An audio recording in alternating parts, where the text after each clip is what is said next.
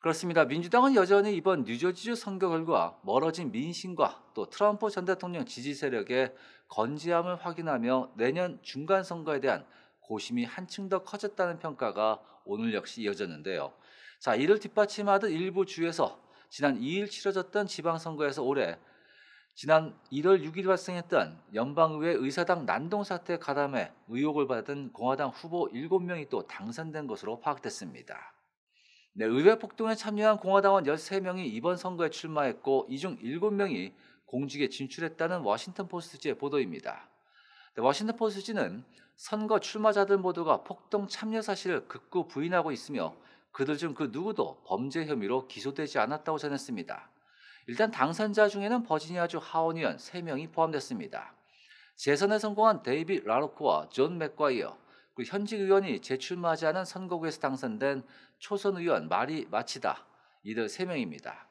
또 2014년부터 주 하원 의원을 지낸 라로크 의원은 난동 사태 직전에 열린 트럼프 지지 집회에 갔던 사실이 알려지자 사임 압박을 받기도 했지만 무난하게 다시 연방의회에 입성하게 됐습니다.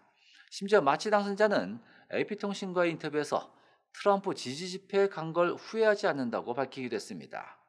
이 밖에 의회 폭동 관련자 중 이번에 당선된 또 다른 인사로는 뉴저지주 와청시 시의원 크리스틴 이든과 아이다호주 나파시 시의원 나탈리 장글라, 매사추세츠 브레인트리시 교육위원회 매튜 린치와 뉴저지주 헌터던 카운티 의회 의원에 당선된 수전 솔로웨이 등이 있습니다.